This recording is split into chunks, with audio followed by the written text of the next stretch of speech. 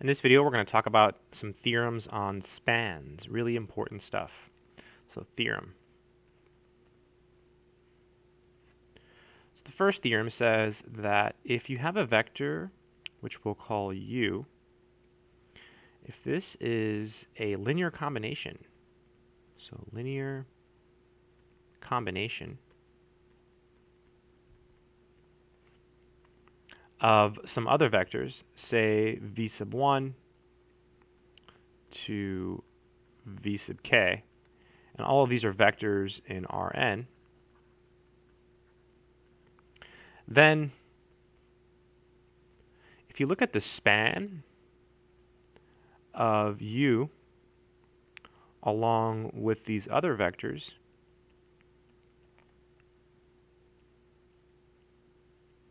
This is just the span of the other vectors. So intuitively, um, the span of the set of vectors is the set of all linear uh, combinations of those vectors. So what we're saying here is that if u is in the span, then you can just drop it because u is a linear combination of the other vectors. So if this guy is a linear combo of all of these, then you can just remove it. Okay, you can just uh, completely remove it. Okay, it's called a redundant vector. So U is pretty much uh, redundant. So let's look at a couple corollaries of this theorem. I'm not going to prove any of this stuff, so uh, just some corollaries. The first one says um, if you have zero in a span, you can eliminate it. And that's because zero is always a linear combination of other vectors, right? So if you have zero and then the vectors v sub 1 through v sub k, um, you can just drop the 0. So it goes away. So this is just the span of the vectors v sub 1 to v sub k. Let's look at a, a quick example of this so you see how it works. Um, say we had um, the span of the vectors 0, 0, 0, and then uh, 1, 2, 1. Well, you can just drop the zero vectors. This is equal to the span of the vector 1, 2, 1. So whenever you have the zero vector as an element of a span, um, you're allowed to, to drop it. Right? You can just uh, remove it from the set. Zero is always a redundant vector in a span. So corollary to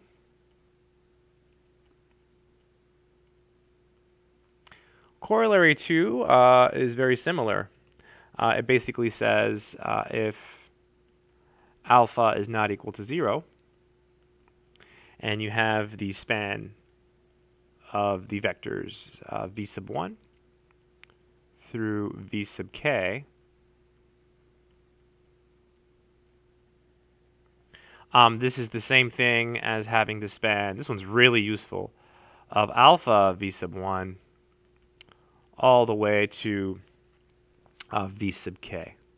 So this is basically saying you can multiply any vector in your span by a non-zero number. So again, super key, super, super powerful stuff. Uh, we'll do an example too once we're done with these corollaries.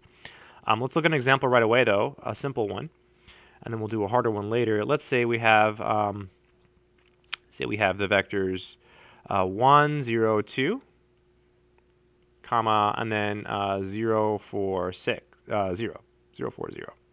The span of two vectors here. And let's say I feel like uh, multiplying uh, the first vector by negative 3.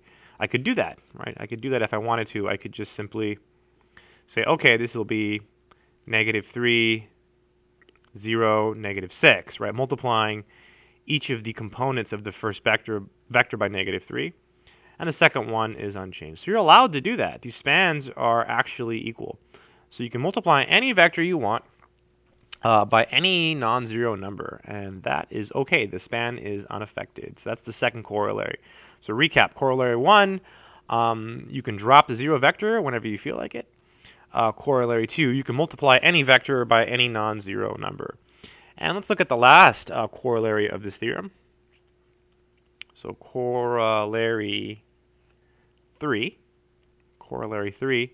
Corollary 3 is really key. Uh, it should remind you of um, something like uh, reducing reducing a matrix to reduce row echelon forms. It's, it's going to seem reminiscent of that. Um, it says for all alpha, for all alpha, if you have the span of the vectors v sub 1 to v sub k, this is equal to the span. And what you can do this time is you can take a vector, say v sub 1, and add a multiple of v sub 2 it, of v sub 2 to it. So um, you could do something like this. I'm forgetting my arrows. Apologies. Uh, and then this would be v sub 2 and then v sub k. So you can add any non-zero multiple of one vector to another. So you can multiply a vector by a number and um, add it to another vector. So let's look at a simple uh, example of this. Let's say we have uh, the span. Say we have the span of, uh, I don't know, let's see, uh, 1, 1, 0, 0. Okay, 1, 1, 0, 0. And then here we have, um, let's say we have uh, about uh, negative 2, negative 2, 0, 0. This is a pretty good example. So what we can do here is we can multiply the first vector by 2 and add it to the second vector. So when you do that, when you do that, what happens, this is a key example here, uh, you keep you keep this first vector, right? Now, we're doing it in our head. So we're multiplying it by 2 and adding it to the second vector. So 2 plus negative 2 is 0. So that goes away. Do the same thing here. You get 0. This is 0 and 0. So look at that. Now you have this span. And now what you can do is you can just drop the 0 vector, right? So this would be the span of uh, 1, 1, 0, 0, right? So look at that. We just took a span and we reduced it to this. And the idea is that this is a redundant vector, right? This vector here is a multiple of this one, so you're allowed to eliminate it, right? So, so pretty cool stuff, pretty cool stuff. Let's do uh, one more example so you see how this works. Um, let's say we have uh, the span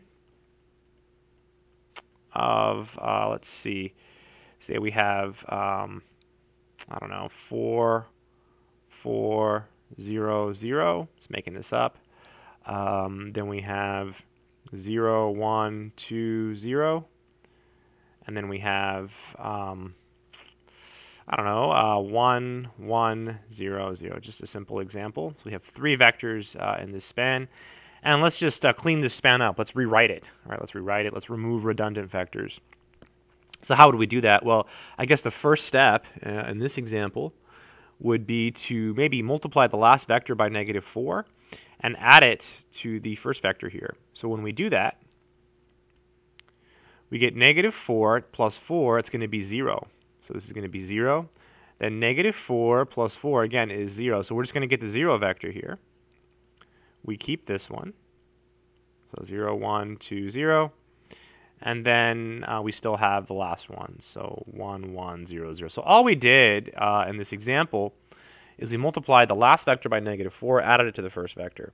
So now, now this is going to reduce to something even better, right? And we can, we can drop the 0 vector. It's always a redundant vector because it's always a linear combination of the others. So this is 0, 1, 2, 0 and this would be uh, 1, 1, 0, 0. And that's it. We've reduced the span.